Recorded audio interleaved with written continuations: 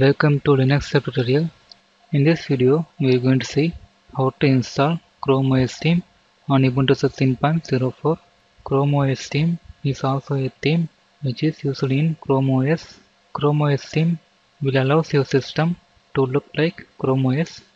Now let's install Chrome OS theme on Ubuntu.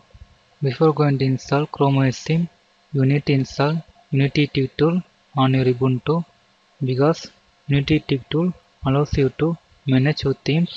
So after installing any theme, we need to apply the theme by using Unity Tweak tool. So first install Unity Tweak tool. Here I have already installed and then now I will install Chrome OS theme. Now type this command to add the repository to install Chrome OS theme. Now hit enter.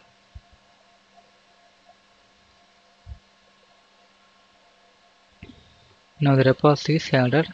After adding any new repository, we need to update. Now type apt hyphen get space update. Now hit enter. Now the repository is updating. Wait for some time.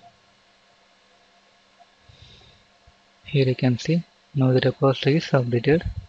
Next type this command to install Chrome OS theme. Now it's installing. Wait for some time. Here you can see now Chrome OS is installed. Now we can open Unity Tweak tool.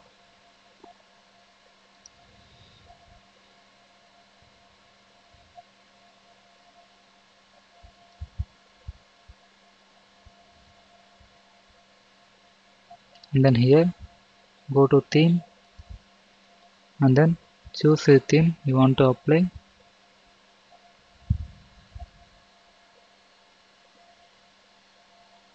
Now the theme has changed. So this is how we can install chrome os theme on ubuntu. Hope this video is helpful for you. Thank you for watching. Thanks for watching. If you like it, please subscribe to our channel to watch more tutorial videos from us.